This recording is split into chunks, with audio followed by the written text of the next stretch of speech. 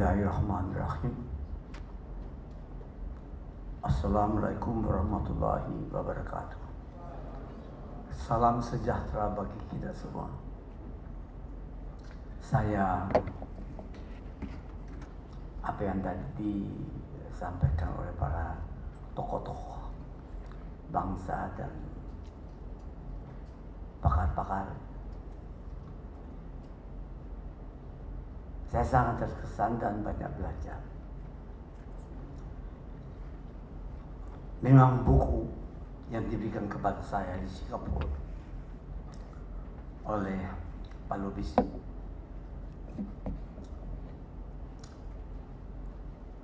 pertama kalinya yang saya pegang ialah mengenai hukuman mati itu. Terus beliau radikal tanya, Pak gimana ini? Saya secara spontan menjawab, saya tidak setuju hukuman mati.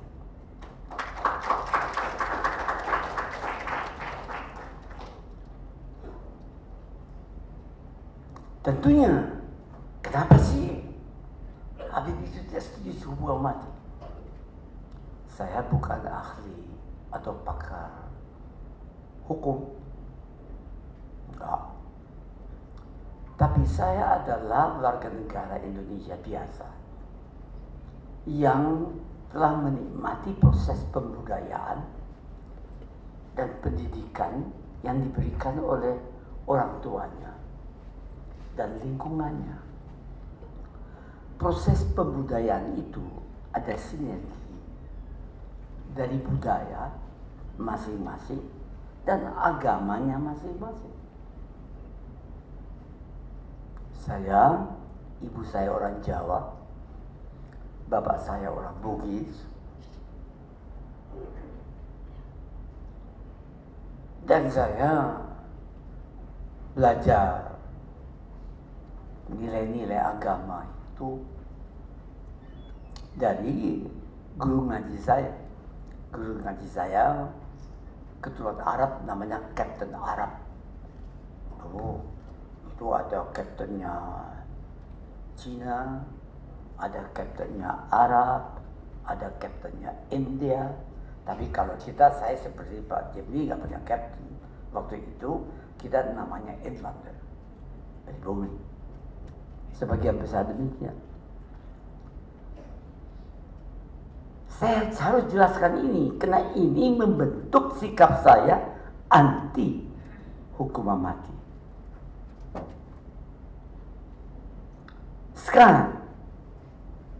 Dalam lingkungan demikian saya tumbuh. Waktu orang tua saya nikah, itu belum sumpah pemuda. Itu pernikahan antara dua suku dianggap haram. Tabu.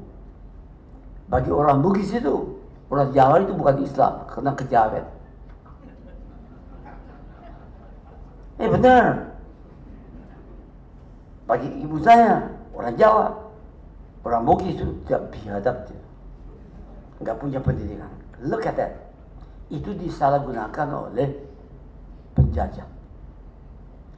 Dia ada domba. Dia bisa jajah. Kalau kita keroyok dia waktu itu, hilang dia. Tapi kok kita nggak nyampe idenya untuk keroyok? Karena dia ada domba. Akibat dari itu, orang tua saya itu mendidik anaknya.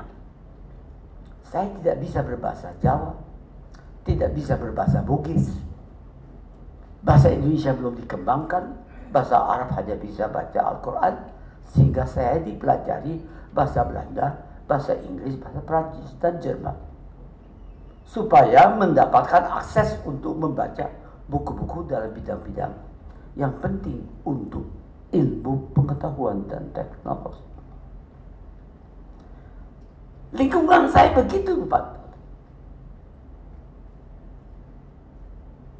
Tapi satu yang jelas, saya dibesarkan dengan keyakinan bahwa kita semua yang ada di ruangan ini diciptakan oleh Tuhan yang Maha Esa. God. saya tidak berkeinginan untuk mengetahui bagaimana sih tambangnya Tuhan. No, karena saya tidak mampu. Saya diciptakan oleh dia, saya tidak mempunyai kemampuan dan kesanggupan untuk membayangkan wajahnya. Betulnya, I'm not interested. Tapi ya saya mau sedekat mungkin dengan dia. Dengan apa? Mengikuti jejak-jejak, mengikuti pemikirannya, mengikuti ajarannya. Jadi dalam lingkungan gitu saya di ke Eropa, saya lama di Eropa loh. Saya lebih lama di Eropa dari Romo Magnis Suseno di Indonesia. Ya benar, saya kawan dengan Magnis. Dia Yesuit, pintar itu, Yesuit Yesuit pintar-pintar. Tiap bulan, tiap bulan satu dua kali saya makan dengan dia. Kawan sih. Nah sekarang, saya berkeyakinan karena pembudayaan yang tadi saya katakan itu. Dan keadaan menjadikan saya yakin bahwa saya tidak mempunyai hak sebagai manusia untuk mengakhiri kehidupannya. Hak itu ada hak prerogatif dari Tuhan yang Maha Esa. Stop. Jadi dengan keyakinan demikian, Anda tanya sama-sama Habibi, hukum mati tak mau. Kenapa saya setuju?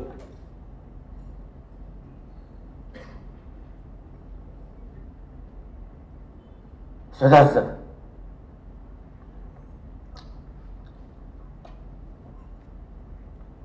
kita hidup dalam suatu masyarakat. Masyarakat Indonesia ada masyarakat yang menarik karena heterogen. Yang menarik bukan saja heterogen,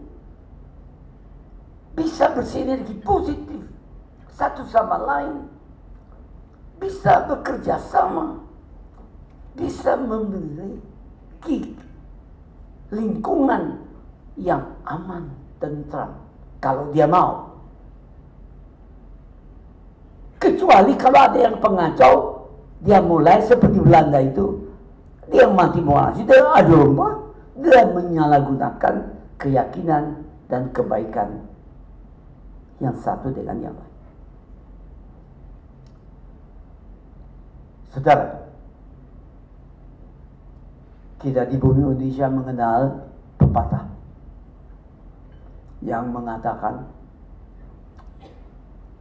lahir dan ketemu jodoh dan Anda mati ditentukan oleh Allah.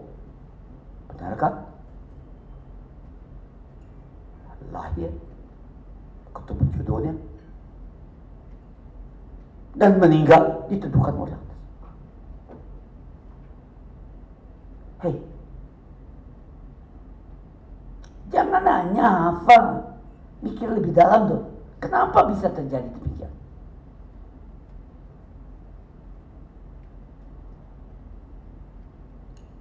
Gak benar kalau Anda kira itu Pancasila itu adalah produk dari seseorang. Tidak benar itu.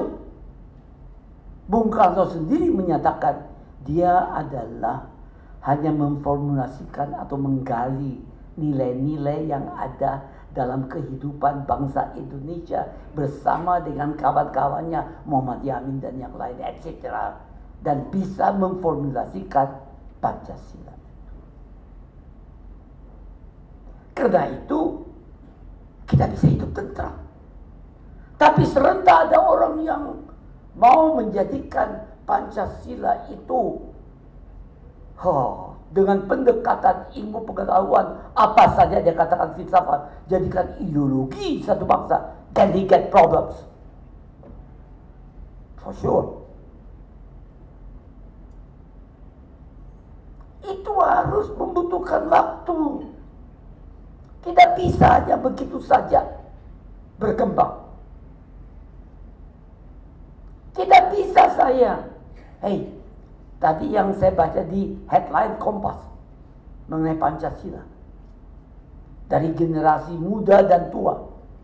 Generasi muda definisinya mereka yang antara 17 dan 35, 35 tahun. Yang tua di atas 35 tahun. Habibi yang 25 hari lagi 80 tahun, apa ini kakek?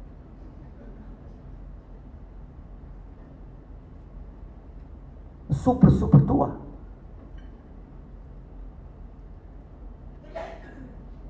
Tapi Anda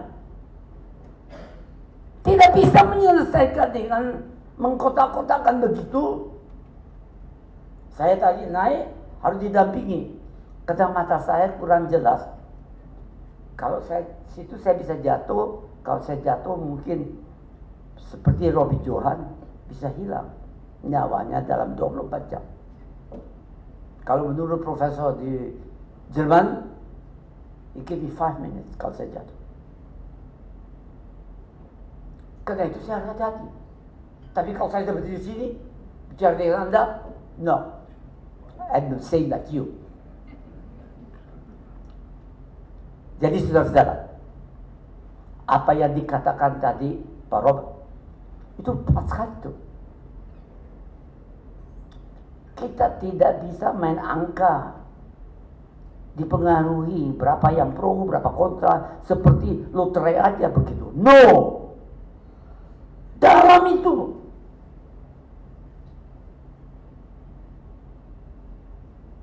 sehingga dia pakai perkataan harus baca puisi. Eh bener ya, saya suka baca puisi. Saya bener. Kalau dalam keadaan punya waktu, saya baca puisi apa saja. Kalau tidak ada puisi, saya buat puisi sendiri. Pak Jemli,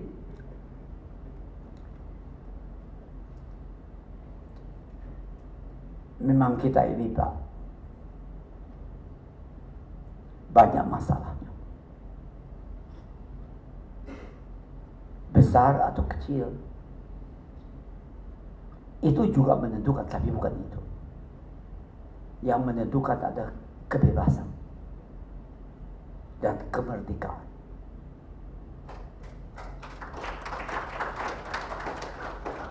Anda harus tahu ada negara yang kecil dan merdeka nggak bebas ada negara yang besar, cukup besar, merdeka tapi tidak bebas. Ada yang bebas tapi tidak merdeka. Merdeka dan bebas itu tidak cukup, bung. It's just the beginning. Harus mempunyai budaya, tanggung jawab, mempunyai disiplin. Larinya mau ke mana? Larinya mau daya saing yang tinggi. Dalam suatu dunia yang mengecil, bukan geografis mengecil. Tapi kena informasi. Informasi saya buat begini, tuk, sudah dapat di tempat yang lain. Saya berbicara di sini, jangan heran dia ambil aja dengan iPhone-nya atau apa saja tiba-tiba udah keluar dalam netnya. Dia ngomong, sering saya dapat itu. Saya bicara di di mana saja, tiba-tiba saya dapat dari Eropa. Hei, saya lihat yang ngomong begini. Wah, dia tahu ajukan pertanyaan. That's the world today. Jadi kita tidak bisa dalam hal ini mengignore itu semua. Saudara tahu, problem sekompleks apa pun Anda harus menyelesaikan. Caranya harus punya sistem. Harus menyadari bahwa problem itu terdiri dari tiga bentuk yang harus mendapatkan perhatian dan secara integral harus diselesaikan simultaneously. Satu, penyelesaian yang berlaku umum. Kedua, penyelesaian yang harus memenuhi kendala-kendala yang ada di dalamnya. Ketiga, penyelesaian yang harus memperhatikan kendala-kendala yang ada pada pinggiran. Yang keempat adalah waktu yang menentukan agar supaya kebijaksanaan Anda itu pada waktunya berkualitas tinggi dan tepat. Bu, it's not so easy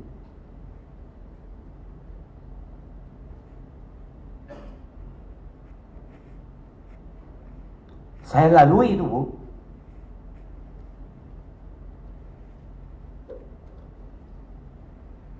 Jadi saudara-saudara harus tahu.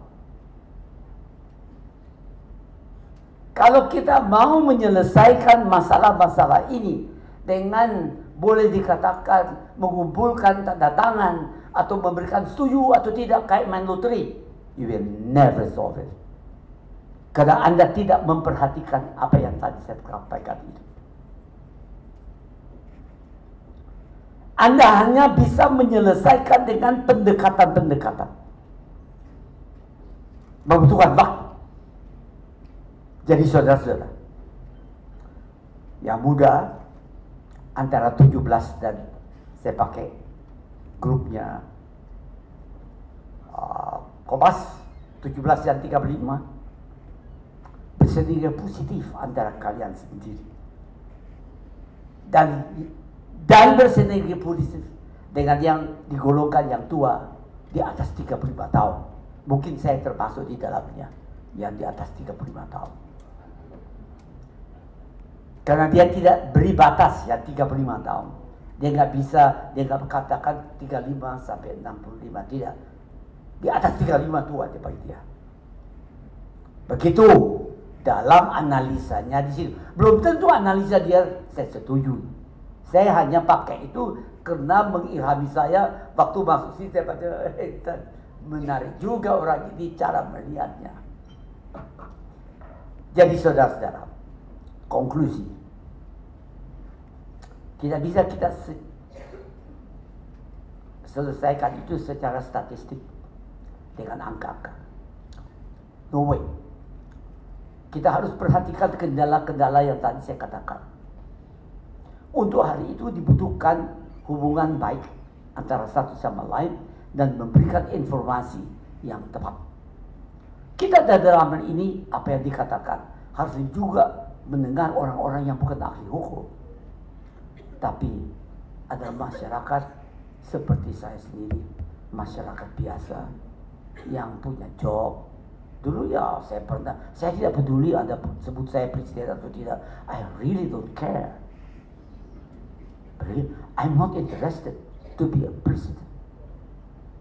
I'm interested to remember all of you respected as your old grandfather.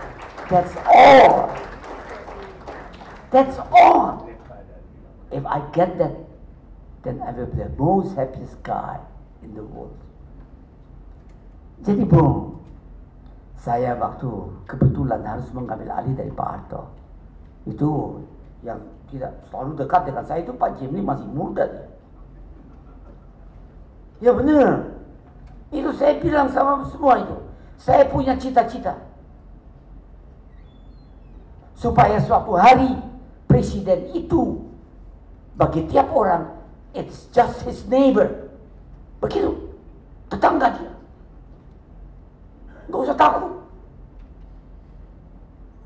Itu cita-cita. Ya namanya Habib itu. Walaupun orang maki-maki saya sudah so? Saya hanya doa. Tuhan maafkanlah mereka. Karena mereka tidak sadar apa yang dia katakan. Karena saya malu terhadap Tuhan yang Maha Esa. Kenapa kok membunuh? Kenapa kok orang-orang diperkosa? Kenapa orang-orang dihina? Kenapa perilakunya begini? Saya sebagai manusia dengan latar belakang saya jelaskan itu. Saya malu. Tiap doa saya panjatkan, saya minta ampun atas kesalahan kita semua. Hei, itu memberikan sedikit ketentraman bagi saya sendiri. Jadi saudara-saudara, saya terima kasih saya mendapat kesempatan untuk berbicara. Terima kasih saya diundang. Terima kasih saya diberikan bukunya. Dan saya terima kasih atas kehadiran Anda. Saya minta dengan hormat sebagai orang tua mungkin bapak Anda kena seusia dengan ayah Anda atau mungkin eyang Anda seusia dengan eyang Anda sendiri. Atas mereka, nama mereka, saya sebagai anggota masyarakat ini. Marilah kita bersama-sama sistematis memberikan hak prerogatif orang hidup atau mati kepada Tuhan yang Maha Esa Akibatnya, akibatnya konklusinya Pak Jimli ini Mahkamah Konstitusi perjuangkan supaya hukuman mati God walaupun ada undang-undang tadi disebut 70% dari bangsa-bangsa di bumi ini. Itu sudah tidak berlaku lagi. Atau de facto de jure mengenai hukuman mati. Walaupun di dalam undang-undangnya ada hukuman mati. Kita belajar dari kesalahan orang lain dan kesalahan kita sendiri. Tapi sasarannya kita sebagai negara yang benar-benar di ruangan ini waktu diluncurkan bukunya Pak Jemli saya hadir juga. Saya setuju itu bahwa beberapa prinsip-prinsip yang penting harus kita diskusikan di gedung ini. Karena ini Mahkamah Konstitusi yang modern.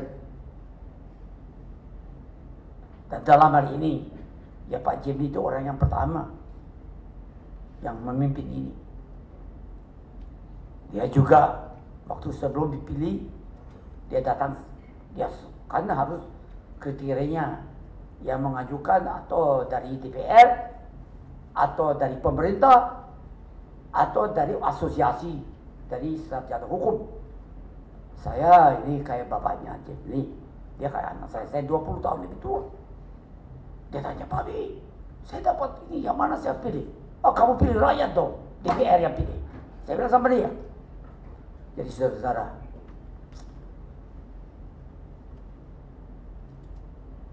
saya yakin dia on the right track. Terima kasih loh kalian berdua mengeluarkan buku yang pertama yang baik sekali. Dan dalam hari ini saya supaya dimasyarakatkan dan yang lain saya rasa yang membaca akan diilhami dan percayalah kita harus menyelesaikan bersama-sama. Terima kasih. Selamat berjuang. Wassalamualaikum warahmatullahi wabarakatuh. Waalaikumsalam warahmatullahi wabarakatuh. Kita berikan